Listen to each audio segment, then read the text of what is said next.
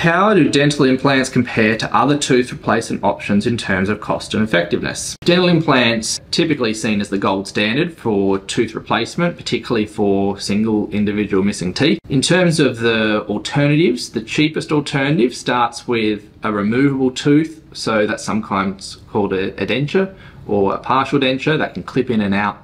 That's by far the cheapest and maybe as little as say $1,000. A bridge, which is something which is connected to the teeth either side or to at least one tooth, can range in price, but typically is around in between half the cost of an implant up to sometimes more than the cost of an implant. So it really depends on the type of bridge that we're doing. Uh, a single dental implant often averages somewhere between sort of six to seven thousand dollars. Sometimes they can come in slightly less, but other times they can be more when there's a significant amount of work to be done prior to even being able to place the implant.